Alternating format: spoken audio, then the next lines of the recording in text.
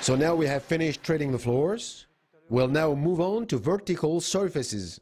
So we will change sprayers. We will now use the spray gun, which allows us to avoid diluting the blood, as I have just said. We can begin with this surface, here. We'll get into the dark and I will spray.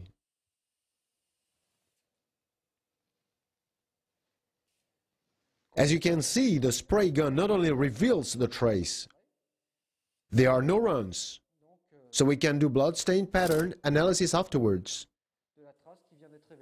We can spray several times without the product running.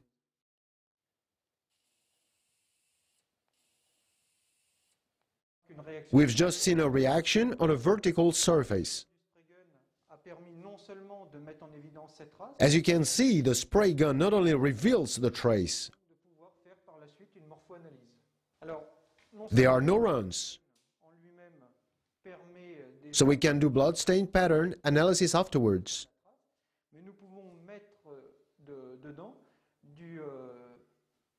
Using the spray gun with Bluestar Magnum is recommended because it is more concentrated and will therefore react better with this type of aerosol, whose particles are extremely fine. We can now treat the windows. We should not forget to set up the camera correctly.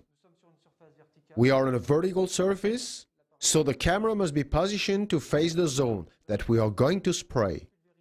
Yes, it must be perpendicular. Every precaution should be taken to avoid deforming the images, either through the photograph itself or by deforming the shapes by spraying too much of the product.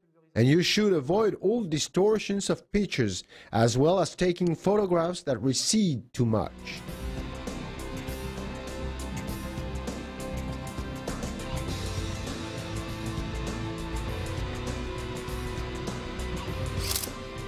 Even on a window, the spray gun used with Bluestar not only allows us to see the reaction, but it also prevents runs.